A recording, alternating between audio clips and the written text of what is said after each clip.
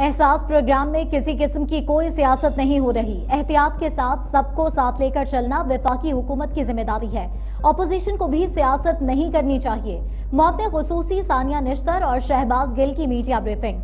कहा, हम चाहते हैं लोग अगले दो हफ़्ते घरों में रहें। आठ लाख से ज़्यादा अफराद को फहरिस्त से निकाला है। मुस्तकिन को मिलने वाली रकम की शफाफियत यकीनी बनाई जा रही है। मजीद बोले उलमाए कराम से दरखास्त है, बीस निकात पर अमल दरामद करवाएँ। डॉक्टर्स नर्सेज और पैरामेडिकल स्टाफ की खिदमत काबिल तहसीन है।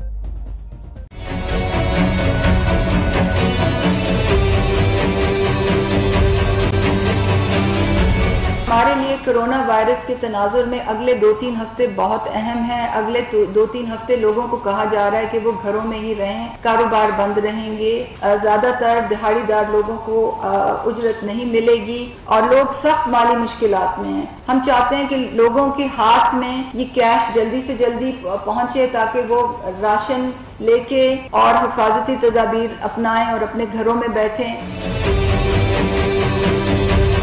जिसको हम अपना फ्लैगशिप कह रहे हैं हमारी गवर्नमेंट का, वो ये एहसास प्रोग्राम है आपके सामने है।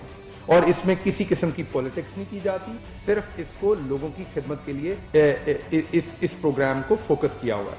अगर मसाजिद का फैसला करना है तो उसमें उलमा कराम की राय मेरे नज़दीक बहुत ज़रूरी है। उसमें जो हमारा दीनी तबका है, उनकी राय बहुत ज़रूरी है। उन्हें ऑन बोर्ड करना है। तो बात, इसमें दूसरी बात ये कि क्या इस सोसाइटी में कुछ लोग अच्छा काम नहीं करे बहुत अच्छा फॉर एग्ज़ाम्पल हमारे डॉक्टर्स, हमारी नर्सेज हमारा पैरामेडिकल स्टाफ, वो हमारे हीरो हैं, क्योंकि वो फ्रंट लाइन पे हम सब उनको खराज तहसीन पेश करते हैं, उनकी इज़्ज़त करते हैं और कौम का, उनका जो कंट्रीब्यूशन है, वो बायस फ़ख्र भी है और काबिल तहसीन भी है इस तरह